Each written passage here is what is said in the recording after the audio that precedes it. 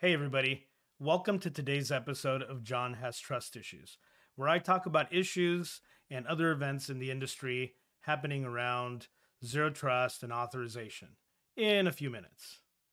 I'm John Martinez. I'm the technical evangelist here at StrongDM, and my trust issues come from that smart speaker, quote unquote, in my bedroom that wakes up in the middle of the night asking me if I'm still there or that she couldn't hear me or whatever. It's three in the morning. I'm asleep let's get to today's topic.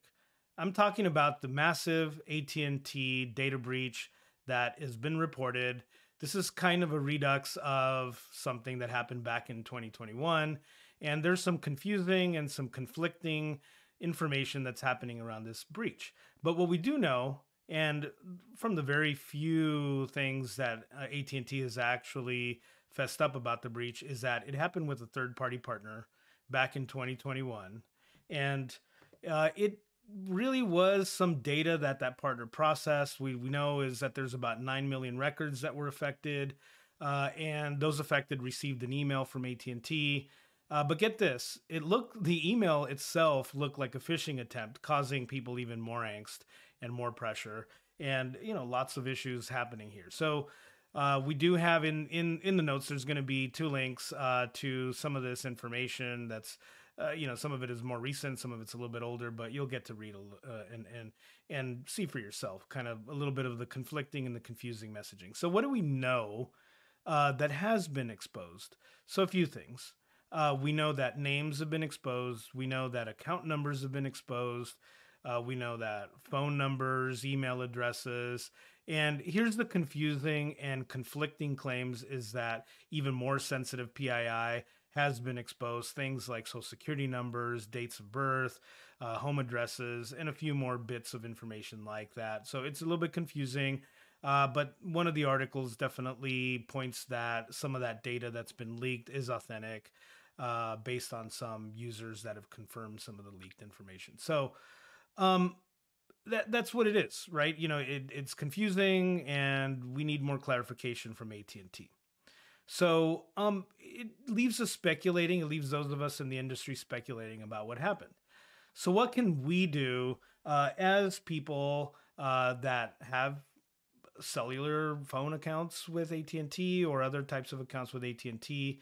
What can we do to actually mitigate the risk, actually talk about the risk, and actually think about the types of things that could happen to us uh, because of this risk? So uh, and I'm also going to talk a little bit about what can we do as as professionals in the security industry uh, for this type of risk. All right, so let's talk about that. So on the personal side, let's watch for signs of phishing attempts, uh, emails that come across to us uh, wanting us to send uh, gift cards to somebody special in our lives that you know it's not going to be asked about. Uh, so that's one, and also watch um, things like text scams uh, or or phone phone number scams where they're they're calling you. These scammers are calling you.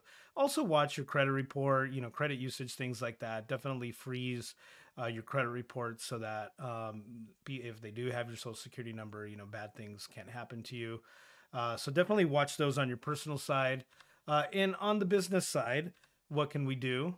Uh, so we can require monitoring of our partner systems. Uh, I'm talking here uh, monitoring of cloud accounts. So, for example, if there's data that's being hosted uh, or being stored on cloud storage, definitely demand that your partners give you some of those reports on how they're securing.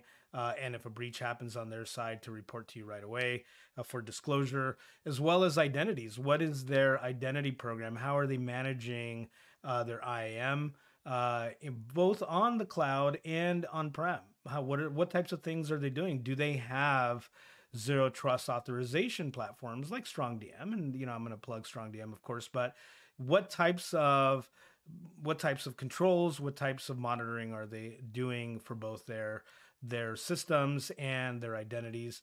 Uh, and again, implement modern access management, continuous authorization of sensitive data uh, and access to sensitive data, access to those databases, those processing uh, compute clusters like Kubernetes, et cetera. So definitely demand those and ask for those and ask for some of that reporting.